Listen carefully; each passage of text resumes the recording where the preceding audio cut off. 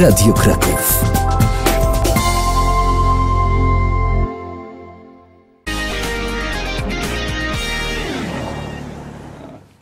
Marek Handwerker, czyli załoga Radiostrady. Tak. E, Rajdowa witaj. załoga, Ra-. Rajdowa, tak. e, Radiowa. Radiowa. Ra, ra, ra, rajdodowa. Tak. E, Porozmawiamy dzisiaj, tak, bo, bo kilka spraw jest, o których chcieliśmy, takie ko- komunikaty y, aktualne. Po pierwsze, już wiemy, że jesienią Radiostrada Nocna zostanie od 23 do 1 w nocy. To dobrze, bo trochę wcześniej będziemy zaczynać, bo przypomnijmy, że przed wakacjami to było od północy. Od północy, troszkę później. E, Późno trochę i bardzo chcieliśmy, żeby tak się stało i tu tak rzeczywiście jest, więc zachęcamy. Mówimy o tej radiostradzie, która jest z czwartku na piątek w nocy. E, Radiostrada nocą. Dzisiaj właśnie jest czwartek i dzisiaj Tak, również się będzie, z Państwem tak. spotkamy. Przypomnijmy, mamy tutaj taki y, cykl, to też się trochę zmieni jesienią. Wszystkiego dzisiaj Państwu nie powiemy, niech będzie trochę niespodzianek. E, pojawią się nowe cykle, ale, ale ten zostanie na pewno i to jest cykl związany z historią rajdów samochodowych w, W Polsce, sportu szczególnie w Krakowie. motorowego. Tak, i w Polsce, szczególnie a zwłaszcza w Krakowie. z krakowskimi, tak. Bo zbliża się w przyszłym roku będzie 110-lecie Automobil Klubu Krakowskiego i będziemy do tego się powoli przygotowywać. To Mhm. znaczy będziemy y, próbowali przedstawić jak najwięcej z tej historii, bo ta historia jest tak piękna, e, a, a tak obfita, e, o której no, nie, niewiele osób wie. E, Znamy tylko ostatnią, powiedzmy sobie, te, te rajdy, które były w latach 90., w 80., no jeszcze do 70., ale, ale okazuje się, że ta historia jest tak ciekawa i tutaj y, dalej będziemy przedstawiać, będziemy zapraszać gości, czyli kierowców, pilotów rajdowych i oni będą, y, jak, jak do tej pory, opowiadać nam fantastyczne historie. Czasami tak fantastyczne, że ja tutaj siedzę i, i z wielkim zainteresowaniem słucham, co oni opowiadają. Są to tak ciekawe rzeczy i mam nadzieję, Dzisiaj że... nie do pomyślenia, dlatego Tak. że to, byli, to był czas, y, użyję może brzydkiego słowa, zapaleńców. Bo to trzeba było być zapaleńcem. Nie, nie, nie, nie, nie- wystarczyło tylko kochać, ale to trzeba było jeszcze poświęcić temu cały czas, y, emocje, zdrowie, pieniądze, y, życie rodzinne czasami i, i, i żeby tym się zajmować. Czyli rajdami, wyścigami. Tak, ci z Państwa, którzy chcą posłuchać tych opowieści, mogą je znaleźć na naszej stronie mailowej, na stronie Radiostrady w- w internecie w internecie. E, Tam są Radiostrada.auto.pl radiostrada.auto.pl, tak. Dobrze, dobrze powiedziałem. A, e, dzisiaj też spotkamy się wie, wieczorem, w nocy już e, z dwójką e, kierowców rajdowych, pilotem i kierowcą rajdowym. Będzie u nas gościu Andrzej Pabis, pilot rajdowy, człowiek, który do dzisiaj bardzo często można spotkać go mm, y, na rajdach. I będzie Adam Ziomber. No, Adam to jest cała historia rajdów w Krakowie. E, Między innymi e, moje wspomnienia dotyczą pewnej nocy, którą spędziłem razem z Adamem. E, Było to na Słowacji, chociaż parę minut Rozwij to, byliśmy... bo idziesz w niebezpiecznym kierunku. I właśnie, kto z Państwa chce usłyszeć, y, z czym się to wiąże? Jak to jest, że spędziliśmy fantastyczną noc, której nie zapomnę do końca życia, będąc przez parę minut w Polsce. Y, Wróciliśmy z powrotem na Słowację. Ale to, ta opowieść o, o, tej, o tej nocy będziecie Państwo mogli posłuchać dzisiaj między...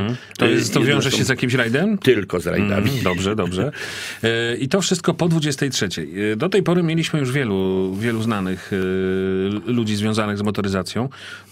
My chcemy, cały czas o tym mówimy i tu mamy też zapewnienia ze strony Muzeum Inżynierii Miejskiej, wróćmy do tego jeszcze raz, że będziemy starali się, teraz przed nami przebudowa tego muzeum, ale jak ono ruszy już w tej nowej formie, e, to będziemy chcieli robić tam cyklicznie takie właśnie spotkania z takimi ludźmi, stworzyć tam taki klub motoryzacyjny, y, który będzie miał w sobie i miłośników rajdów, i miłośników, nie wiem, s- samochodu Opla Vectra, bo był taki kiedyś Vectra Klub, czy jakichś innych samochodów, po to, żeby było takie miejsce, gdzie można przyjść, usiąść przy kawie, porozmawiać, gdzie można czasem przyjechać samochodem, po to, żeby to auto pokazać kolegom. To brakuje takich miejsc, żeby ci młodzi, bo, bo skąd mają się brać kierowcy rajdowi? Skąd ma się brać zaplecze dla rajdów? No stąd, że ludzie będą mieli gdzie zdobyć wiedzę i poznać innych, którzy mają taką samą pasję. Oprócz tego mnóstwo zawodników ma piękne pamiątki z rajdów. Ja właśnie wczoraj odkopałem e, koszulę e, z zespołu rajdowego e, Renault Sport. No nie wiedziałem, że ją jeszcze gdzieś posiadam, ale Tu u mnie w szafie wisi twój kombinezon kombinezon jeszcze wisi. rajdowy. To są to tak jest kombinezon. Janusza, tak? To nie, to jest no, mój e, Twój- osobiście. No, mechanicy Mhm. byli tak samo poubierani jak, jak rajdowcy, tylko oczywiście te kombinezony nie spełniały tych norm, Jak dzisiaj. ale, ale wyglądaliśmy jak, jak cały zespół. Ale to jest też, że może takie właśnie eksponaty trafią kiedyś do muzeów. No ja z chęcią bym takie eksponaty gdzieś y, pokazał, bo mam całą szafę różnych koszulek, których Mhm. nie, nie potrafię wyrzucić.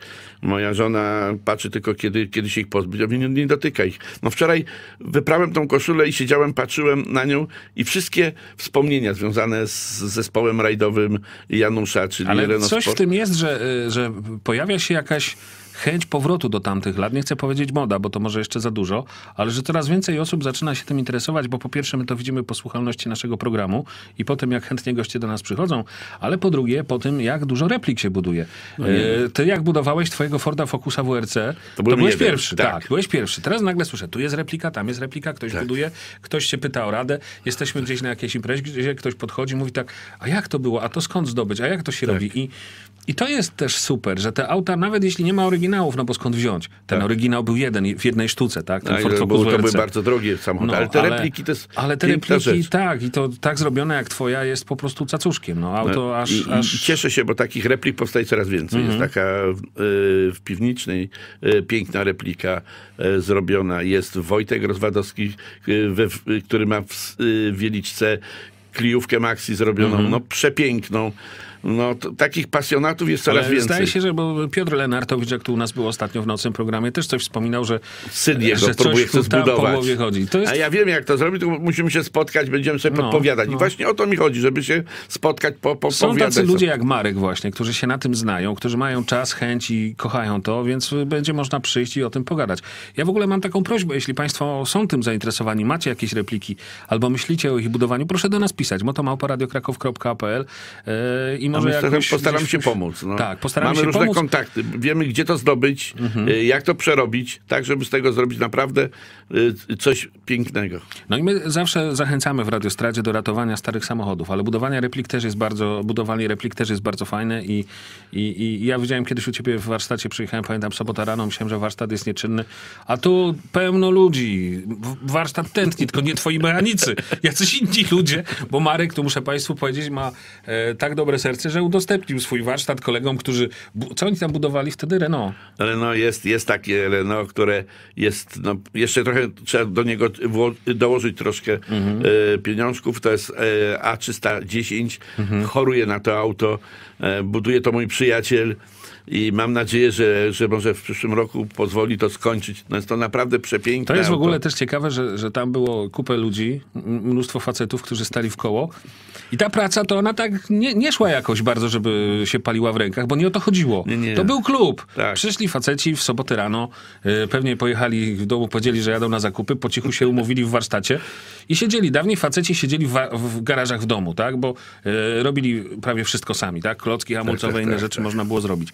Dziś tego się nie robi. Ci faceci z tych garażów trochę wyszli i zaczyna nam tego brakować. I nagle się okazuje, że jest taki warsztat u Marka, się przyjedzie Ale w ogóle w sobotę i, a tu pokaż, co masz, a to jak zrobisz, a to jak, aha, widzisz, no, a to może stamtąd, a to ten. Jak zdobyć to tak. No i to, Jak i to, to jest tak. taki klub, chciałbym, żeby funkcjonował w Muzeum Inżynierii Miejskiej. Ja Takie też. miejsce, że przyjdą ludzie, porozmawiają, pasjonaci, jeden drugiemu doradzi.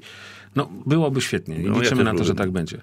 Więc raz jeszcze Państwa zachęcamy do słuchania Nocnej Radiostrady. Dziś o Zapraszamy. 23. Przypomnij jeszcze raz, kto będzie Andrzej gościem. I Mhm. Adam Ziąbę. To, to dzisiejsze spotkanie. Pozostałe znajdą Państwo na stronie Radiostrady.